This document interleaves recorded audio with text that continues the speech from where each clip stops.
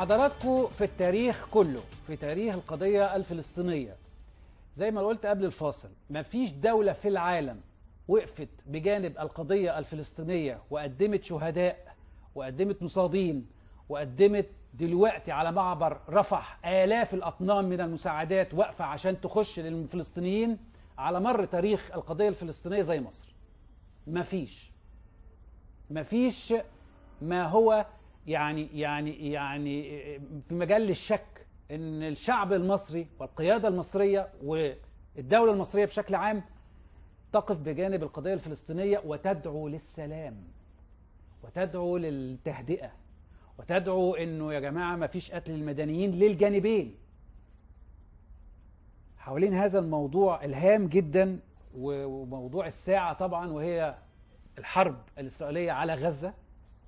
والعناد الخاص بالقيادات في إسرائيل العند المستمر في هذا الإطار. ضيفي سيادة اللواء محمد الغباشي أمين مركز آفاق للدراسات الاستراتيجية. مساء الخير يا فندم. وزي حضرتك. أهلا بيك ومساء الخير على أهل مصر كلهم. تحب تبتدي منين؟ يعني أنا كنت كنت دخلت يعني إيه في آخر الأحداث اللي أنا شفتها النهارده وتابعتها قبل ما أخش البرنامج وهو الرئيس يعني رئيس الوزراء الإسرائيلي بنيامين نتنياهو لما كان بيلقي كلمته للكنيسة الإسرائيلي وأعلن إن خلاص إحنا داخلين حرب.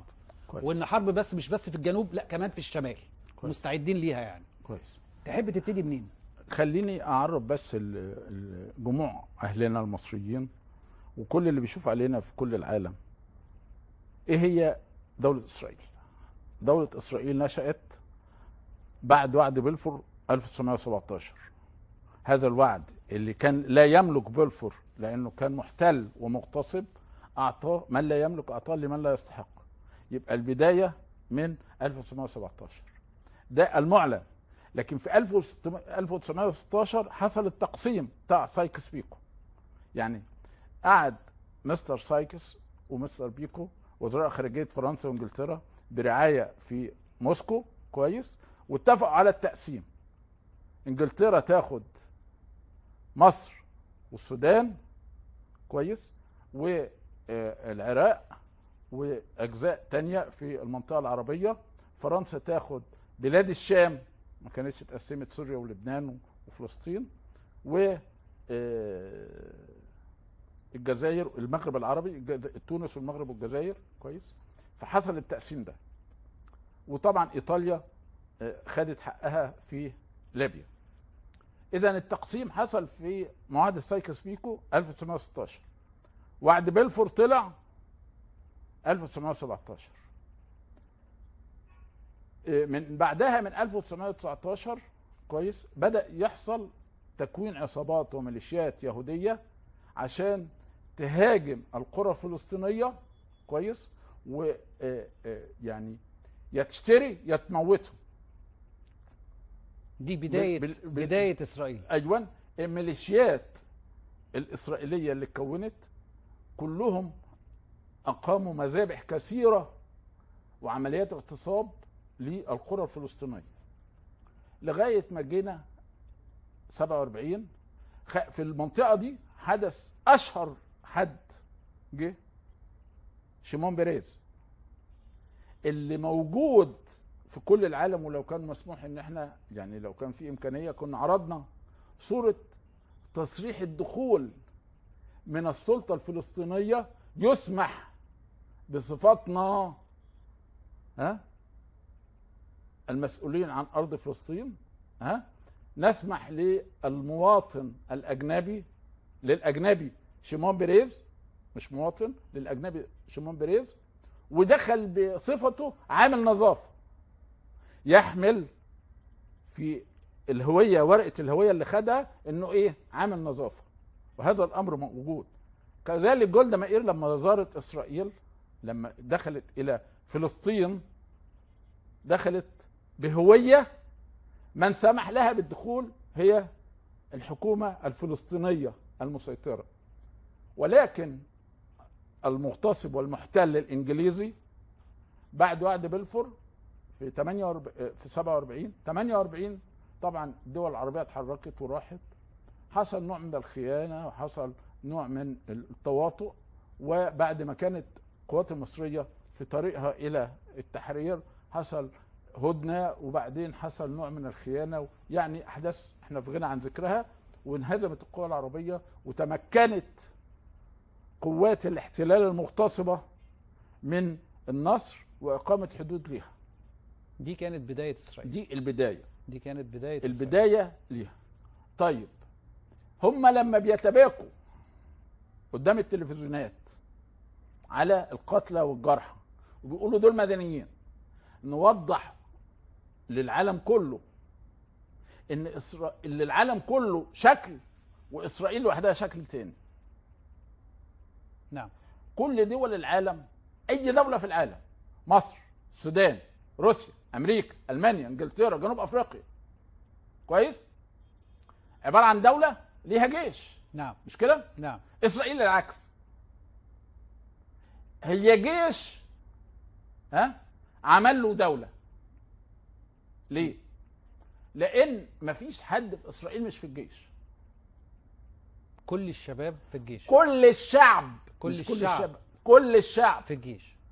في المرحلة الابتدائية بيدوا له التوراتيين ها والكتابيين بيدوهم بيقعدوا مع الولاد يقولوا لهم في التوراه العرب والمسلمين قتلة الأرض دي أرضكم ويبدأوا يغزوا دماغتهم. من الإعدادي بيدوهم تدريبات رياضية واستخدام السلاح البسيط. حتى الآن. ده إلى ما لا نهاية. دي عقيدة ده مبدأ. عندهم نظام احتياط. أقصى وأكبر نظام احتياط في العالم وفي التاريخ.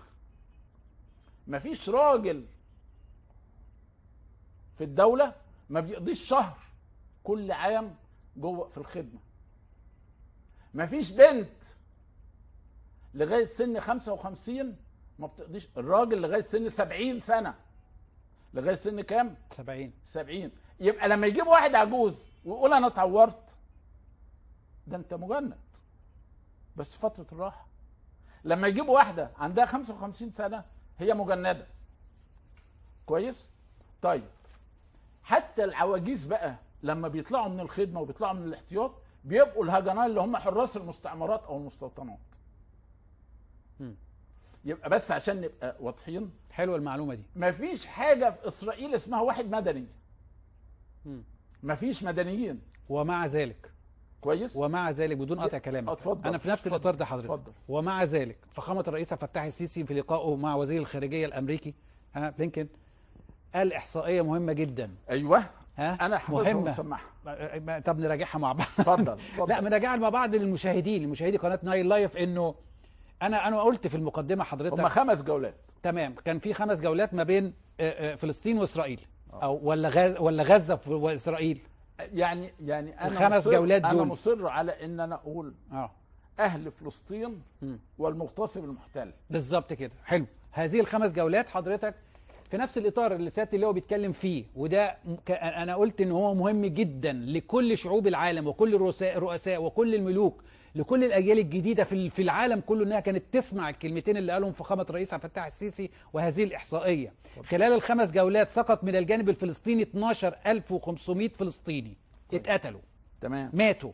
من. الجانب الإسرائيلي بقى استشهدوا. من الجانب الإسرائيلي حضرتك سقط إيه؟ 2700 أيوة. منهم بس 1500 في السبعة أيام اللي فاتوا. كويس. طوفان أيام، التسعة الأقصى أيام اللي. فاتوا. كويس. المصابين من الفلسطينيين 100 ألف مصاب. 100 ألف مصاب. الجانب الإسرائيلي كام؟ 12 ألف مصاب بس. في الأطفال وسقوط الأطفال. النهاردة بنيامين نتنياهو في, في, في الكنيسة عمال يتكلم بكل يعني حزن وبكل تعاطف إن كل الدول العالم تتعاطف معاه. بيتكلم عن الأطفال وبيتكلم كام طفل حضرتك فلسطيني اتقتل؟ 2500 طفل. الجانب الإسرائيلي كام؟ 150 طفل. قبل ما أدي لحضرتك الكلمة يعني بعد واحد كده والتعليق. 20 لا واحد على خ- ما أعرفش يعني يعني قبل ما يعني حضرتك تكمل بس أقول جملة صغيرة مهمة جدا. اتفضل. إن فخامة الرئيس عبد الفتاح السيسي والدولة المصرية أمام أكبر دولة في العالم اقتصاديا وعسكريا ورمزها وزير الخارجية امبارح كان بيتكلم إن الدولة المصرية وفخامة الرئيس عبد الفتاح السيسي ضد أي قتل مدنيين ايا كان إذا كان إسرائيلي أو فلسطين أنا بقى عندي ملحوظة لطيفة وجميلة وأنا شخصيا كنت سعيد. كم الثقة والقوة اللي اتكلم بيها الرئيس السيسي وهو بيكلم بلينكن. أنت لو شفت التعبيرات واللي بيقولوا عليها البادي لانجوج وهو بيكلمه قد إيه قوي. قد إيه واثق؟ قد إيه بيكلمه من موقف حقائق. لأ. بيكلموا من موقف إن أنا مصر واقف على أرض صلبة إن أنا مصر قوية إن أنا مصر متعافية إن أنا مصر ما حدش هيلو دراعي. أنا ودي ودي أنا حسيتها كويس. كم الثقة دي؟ أنت لو شفت أول أربع جمل قالهم بلينكن كان بيقطع بعد كلمتين ويفكر ويتكلم ويقطع ويتفكر. أنا بقول له سيادة الرئيس آه، آه، يعني هو عمال يفكر وبيدور في دماغه أفكار عشان لأنه ما هي كانت مفاجأة الناس دول يعني الناس دول أيوان الناس دول لما برضو. بيروح لأي حد تاني. آه. كانت مفاجأة إنها على الهوا. مفاصله بتخبط في بعض. لكن لما يلاقي حديث قوي وبثقة وإحساس فيه آه، مليان ثقة وهو بيكلمه ده كان مش مفاجأة ده كان أنا أعتقد إن هو كان مسبب درجة من درجات آه، توتر. آه، الشعور بالتوتر عند الضيف ومع ذلك مصر تحترم كل دول العالم بما فيهم الولايات المتحدة الأمريكية ولكن هذا اللقاء التاريخي كان عرض لحقائق هامة جدا. من أول اليهودي اللي كان قاعد جنب المسيحي والمسلم عندنا في الشقة أو في نفس العمارة لغاية حضرتك المساعدات اللي إحنا عايزين نوصلها لناس أنت بتحاول تبيدهم. ال ال احترامنا لكافة دول العالم واحترامنا لحق المدنيين في الحياة واحترامنا لأن عدم إصابة أي مواطن أو قتل أي مواطن دي مبادئ أساسية في الدولة المصرية. وهنا هرجع استعيد برضو كلمة مادام بنتكلم على الاحترام آه، الجيوش و- ودي إن دايما الرئيس بيقول على الجيش المصري جيش رشيد نعم. يحمي ولا يعتدي. صحيح. كويس؟ فإحنا كدولة وكمصريين بنرحب بالجميع وبنرحب بالضيوف وبنحترم الجميع. صحيح. من الشرق ومن الغرب. صحيح. كل العالم وكل الضيوف مهما كان آه، مختلفين معاه أو صحيح. مواقفنا ممكن تتعارض أو تتضاد مع مواقفه لكن بنحترم الجميع وكل ضيوفنا على الرحب والسعة ولكن مصر بتعرض موقف آه، قوي وحقوق كعادتها من 48 حتى اليوم هي من تحملت عبء القضية الفلسطينية بأكثر من مئة ألف شهيد مصري مصر دفعت أكثر من مئة ألف شهيد. رقم أهو. واضح. طيب مصر اللي جت دعمت الفلسطينيين والقضية الفلسطينية وساعدت منظمة التحرير انها تنشأ سنة 64 بزعامة شقير. ولما بعدها تولى ياسر عرفات رئاسة منظمة التحرير عشان يكون في حد يتكلم يجمع الفلسطينيين ويتكلم باسمهم. كويس؟ فمصر طول عمرها هي اللي تكفلت بهذه القضية وكانت القضية الأولى على رأس اهتماماتها آه، آه، طوال المدة السابقة. العامين الماضيين حدث مرتين اشتباكات كبيرة ما بين آه، الفلسطينيين والمحتل المغتصب لأراضيهم المسمى إسرائيل ومن أوقف وقام بعمل الهدنة هي الدولة المصرية مرتين. نعم.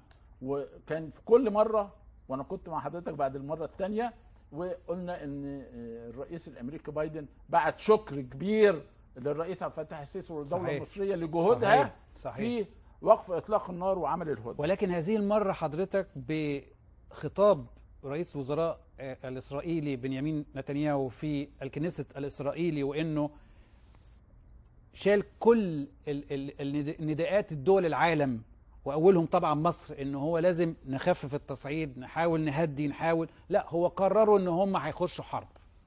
هيخشوا حرب دي معناه هيخ- هيخشوا غزة صح كده ولا أنا غلطان؟ بالظبط كده. شوف يعني آه، ده هيخليني وكان في مناقشة مع بعض الأصدقاء على إن أنا متبني نظرية المؤامرة.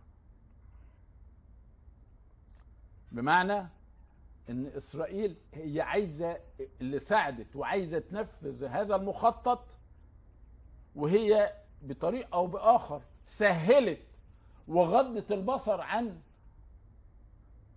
هذه العملية عشان تلاقي المبرر وتضرب وتبدأ في عملية الترانسفير أو الزحف المتتالي من الشمال للوسط ومن الوسط للجنوب ثم إلى الحدود المصرية. هذا هو المخطط الأزلي لتصفية القضية المصرية الفلسطينية وإخلاء قطاع غزة وإعطائهم أرض في آه، سيناء مقابل لها وإسرائيل تدينا أرض في صحراء النقب قدها مرتين ثلاثة وامريكا تدفع فلوس وألمانيا تدفع فلوس و و و وهناك عروض كثيرة جدا. يعني تردد في تصريحات غير يعني وأخبار صحفية غير مؤكدة إن أمريكا عرضت إن مصر تستضيف بعض الفلسطينيين كلاجئين لفترة محددة مقابل كل الديون تلغى. صندوق النقد يدي وبدون رد. مش عارف هندي مساعدات قد إيه هنعمل قد إيه. حاجات دعم أرقام قد كده. ومصر رفضت. وهناك أخبار صحفية غير مؤكدة قالت إن تم عرض. مصر تاخد جزء المملكة العربية السعودية تاخد 500 ألف الإمارات تاخد جزء حتى قطر تاخد ألف لاجئ فلسطيني. وإسرائيل تاخد الأرض كلها بقى. وإسرائيل تفضي قطاع غزة. وفي الآخر تبقى خلاص مفيش قضية فلسطينية. يبقى ما فيش قضية فلسطينية. بدون قطع كلامك وعشان كده الدولة المصرية على لسان فخامة الرئيس الفتاح السيسي من أول يوم. من أول يوم. كان في تصريحات هامة جدا لأنك أنت كده بتهددوا الأمن القومي المصري في اتجاهه الشرقي. وإنه مفيش حاجة اسمها تصفية القضية الفلسطينية. ولحد هذه اللحظة وزير الخارجية سامح شكري فخامة الرئيس عبد الفتاح السيسي طول الوقت مع وزير الخارجية الأ- وزارة وزير الخارجية الأمريكي وزير الخارجية الأمريكي أمس طول الوقت إحنا بننبه إن ده مش هيحصل. ده رد فعل مصر وأيضا آه، آه، آه، ردها على ما يحدث. تمام. ها؟ بس هناك أيضا في تهديد في الشمال من الجانب حزب الله وإيران. شوف ال- ال- ال- اللي بيحصل في الشمال هم هيتعاملوا معاه. مين اللي هيتعاملوا معاه؟ إسرائيل هتتعامل معاه. شوف أصل كان اللي في تصريحات تصريحات طول. أنا آسف أنا هسيب حضرتك. تكمل بس هنا تصريحات بس هبلغها للسادة المشاهدين إن في تصريحات بقالنا يومين ثلاثة تقريبا من الجانب الإيراني إنه إحنا خلاص ايدينا على الزينات. الزينات اللي هو يعني ندوس عشان نطلق الصواريخ ونطلق الحرب يعني. مين اللي قال؟ آه وزير الخارجية على ما أعتقد آه، يعني كان في تصريحات من كده يعني. يعني يعني. واتقالت في كثير من وسائل الإعلام آه، العربية وال- والأجنبية. يعني أنا أشك ولا أعتقد هذا. وكم سنين قبل كده كتير. ها؟ كان يعني من وجهة نظرك تهديدات بس بال- بالقول آه، وليس آه، بالفعل. آه، تمام. لأن آه، إيران إذا آه، تدخلت عسكريا وتوسع نطاق الحرب فده بالطبع هيبقى آه، متسبب إن روسيا تعاون.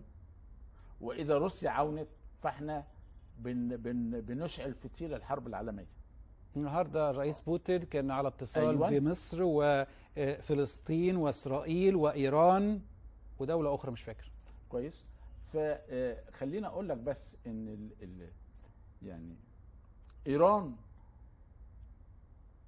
لما انضرب لها المفاعل مرتين هل قامت وأطلقت صواريخ على إسرائيل؟ لا هل قامت وأرسلت قوات لإسرائيل؟ لا. ما حصلش. هي بس بتدعم حزب الله وفي إجراءات معينة في وقت معين عشان تبقى عندها ورقه ضغط قوية في مفاوضات خمسة زائد واحد مع أمريكا ودول الاتحاد الأوروبي اللي بتتفاوض معاها.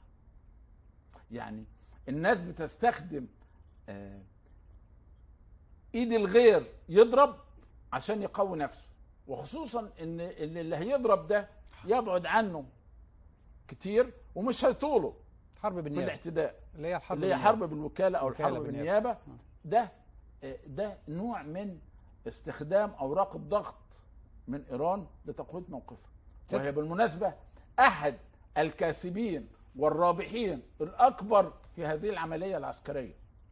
أحد أكبر الرابحين. هي إيران أحد أكبر الرابحين روسيا لأن تخف الضغط والدعم اللي كان رايح كله لأوكرانيا اتسحب بقى لإسرائيل. وبالتالي زيلينسكي بيصرخ أنتوا بتتركونا لوحدنا الآن. تخف الضغط والدعم اللي هنا وبالتالي بقت روسيا قادرة إن هي تتعامل بشكل قوي. لكن الخاسر الأكبر في هذه العملية مين؟ من وجهة نظر حضرتك؟ الأطفال. والنساء أهلنا في فلسطين واشقائنا في فلسطين. أهلنا في فلسطين أنا بشوف إن العمليات العسكرية تد بيوتهم بيبقوا بدون مأوى. بيتقتل الأطفال، بيتقتل النساء، بيتقتل العجائز. هل نتائج هذه العملية عادت بتحرير القدس هل نتائج هذه العملية عادت بتغيير الوضع الديموغرافي؟ هل عادت بأوضاع على الأرض أكثر من هدم؟ ده بيجيبوا صور لايف وصور بعد انهاء القصف حاجة تحزن. نعم. ست سبع عمارات جنب بعض متساويين بالأرض. فيهم على الأقل 100 أسرة ولا 120 أسرة. خلاص مفيش. طيب. ده دول مثال. انت عارف. بعد يومين من القصف كان البيان كام؟ 1200 مبنى تهدم. 1200 مبنى عمارات على شقتين 10 أدوار. يعني تقريبا 1200 في 10 بكام؟ 12000 شقة؟ الشقة فيها الفلسطينيين بيبقى ال- ال- ال- الأسرة فيها 15 واحد. قول لي عدد الناس اللي بقت في الشارع. بدون مأوى. ده غير القتل ده غير حضرتك التجويع وما فيش غذاء وما في وفي كل أزمة- حاجة أزمة- ممنوعة. أزمة حضرتك عيش وخبز يعني ده ومفيش مية ومفيش. كهرباء وفي ضرب للمستشفيات وانوروا مدارس الانوروا و- وإن هم عايزين يهجروهم للجنوب فين روسيا وفين حضرتك الصين وفين كوريا الشمالية وفين ال- القطب اللي إحنا شايفينه طول الوقت بقالنا كذا شهر كده عمالين نتكلم على القطب الواحد والقطبين وفينهم؟ ما إحنا هن... لو اتكلمنا على الموقف الدولي أنا كنت بقول لحضرتك في موقف إقليمي نقوله موقف دولي. موقف إقليمي الكاسب والرابح الأكبر إيران لأنها أظهرت ايدها وقوتها في التعامل عن طريق امداد لأن يقال ان في نسبة من الحرس الثوري كانت تشارك قوات حماس وقوات طيب. الفصائل تمام نمرة اتنين مم. المعدات والصواريخ فيها دعم من ناحية التطوير ومن ناحية الإمكانيات إيران نمرة ثلاثة إظهار مدى قوة إيران واستطاعتها على إحداث الأذى والضرر بإسرائيل. ومش من الشمال من ناحيتها لا من الجنوب. سياده اللواء في كل حاجة ليها مميزات وليها عيوب بصراحة. اتفضل. ما هو أنا في برضو آراء كتيرة بتتكلم يا جماعة ما إحنا دلوقتي ها ابتدينا كل المجتمع الدولي بيتكلم عن فلسطين. وبكل الدول العالم عمالة تتكلم على إن إحنا دلوقتي إلى حد ما كل الدول عايزة تقول في دولتين يا جماعة بقى. يا جماعة وقفوا الح- الحرب على على غزة والمدنيين وقتل المدنيين. قبل العملية دي بكل صراحة شديدة كان تقريبا القضية الفلسطينية اتنست اتحط في الدولاب في اتحطت في الدرج. كويس كويس. شوف مش معنى كده إن إحنا بنقول يا حماس يعني اقتلي واقتلي مدنيين. لكن أنا بس بتكلم بشكل عام لو بشوف تشوف ال- الحكاية كل الكل وليس الجزء. كويس. أنا بس يعني إيه أنا آه، أنا واحد من الناس لما دخلنا الكلية الحربية عشان أغنية فدائي أموت أعيش وما يهمنيش. وإحنا أطفال كنا بنسمع الأغنية دي بتاعت عبد الحليم حافظ. وهدفنا أنا واحد من الناس دخلت ثانويه جويه عشان أبقى طيار عشان عرفت إن في 67 كانت سبب النكسه ضرب الطيران وبالتالي هناك جيل الكامل. والكل يؤيد المقاومة والكل يؤيد عدم وجود إسرائيل تماما. وإن وجدت توجد معاها الدولة الفلسطينية على التوازي بحل الدولتين أو ما يعيشوش في راحة. ولكن أنا عندي نقطة بقولها. هناك أسلوب اسمه أسلوب إدارة الأزمة. عندما تحدث أزمة بنحط سيناريوهات ونختار حاجة اسمها the best solution الحل الأفضل. والحل الأفضل ده بيتغير كل نص ساعة. طبقا للموقف والإمكانيات والتقديرات. أعتقد سياده اللواء. أو قول لي أنا غلطان ولا لأ. هذه الاستراتيجية وهذا التفكير دايما بيبقى في التفكير في الحروب ال... في حاله في حالة عدم استعمار. لا يعني يعني بس- بتبقى بتبقى يعني اللي هو تخطيط الاستراتيجي اللي بقى كذا وكذا وكذا كل الاحترام طبعا. إحنا بنتكلم على إدارة بتكلم- أزمة. آه. في أزمة دلوقتي حاصلة. آه. أنا هجمت وقتلت منهم واسرت منهم.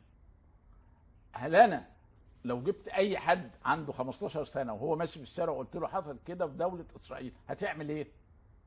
هتقوم رده بالقوة المفرطة. وتهدم وتقتل وتكسر قد اللي اتعمل لها 20 مرة و30 مرة. هل أنا حققت أهدافي بهذه العملية؟ إيه النتائج اللي أنا حققتها؟ فهمت. كويس؟ مم. يعني أنا أتصور إن يبقى قاده المقاومة اللي قاموا بالعمليات دي عندهم في تخطيطهم إدارة للأزمة والاستعداد لكل فعل ورد فعل بتاعه يكون إيه؟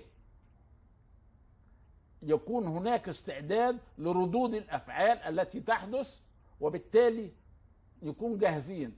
لأن أنا أتصور إن هم أغمضوا عينيهم أو غضوا الطرف عن عملية التسلل. هو في عنصر مفاجأة وفي كل النجاحات الكويسة نقولها للقوات اللي هجمت لكن ده في سور معدن ونازل لتحت خمسة متر عشان ما يتعملش أنفاق على الجدار الفاصل. وبعدين سور خمسة متر خرسانة. على ده وعلى ده كاميرات مراقبة. وبعدين في سنسورز أو حس... أجهزة حساسة لأي حركة. نعم. من تحت أو من فوق. هو هو حقيقي كان اختراق اختراق وبعدين أمني. الدرون اللي طاير على مسافة 24 ساعة في ال 24 ساعة مم. على مدار الساعة. نعم. بيراقب. وبعدين الدوريات الراكبه المتحركة لأن ال ال ال المواجهة مش كبيرة. تمام. كويس؟ طب إزاي ما حدش في دول ست سبع ثمان ساعات يتنبه يخش يضرب ويكسر ويشيل السور وياخد اسره ويرجع. والناس في العسل الناس في البطاطا. حضرتك شايف يعني إن هو يعني في أنا أتصور آه. أنا أعتقد إن هناك نوع من التغافل عشان نوصل أو غض البصر. عشان نوصل للحل اللي إحنا فيه. عشان يسمحوا لهم تقوم إسرائيل تلاقي المبرر تستخدم القبضة الغاشمة ضد أهالينا في شمال القطاع وبعدين تنزلهم لتحت وبعدين من من الوسط تنزلهم لغاية جنوب القطاع وبعدين نعيط ونلطم قدام العالم كله ونزحهم على مصر. ونحضر أمريكا ونحضر ألمانيا. ده في ألمانيا من بعد اللي حصل مباشرة. نعم. البوندستاج في برلين. تعاطفا نعم. تنور بعلم إسرائيل. طيب وأمريكا اللواء- عملت آه، آه، كلامها وكل العالم تعاطف مع إسرائيل. سيادة اللواء إحنا يعني ما بنشبعش من حضرتك بس يعني وقتي خلص بتاع البرنامج وكله مش الفقرة بس. سيادة اللواء محمد الجباشي أمين مركز أفاق دراسات الاستراتيجية. شكرا لحضرتك يا فندم. شكرا. نورتنا وتشرفنا قريبا تاني لأنه شكلها كده العملية مطولة شويتين. ف ثلاثة آه تنورنا بإذن الله قريبا إن شاء شاء الله حضرتك. ده كان يومنا النهارده في صفحة جديدة وبكرة نفتح صفحات جديدة في مستقبل بلدنا مصر. يا رب الحكاية ما يحصلش فيها تصاعد أكتر من كده. تصبحوا على خير.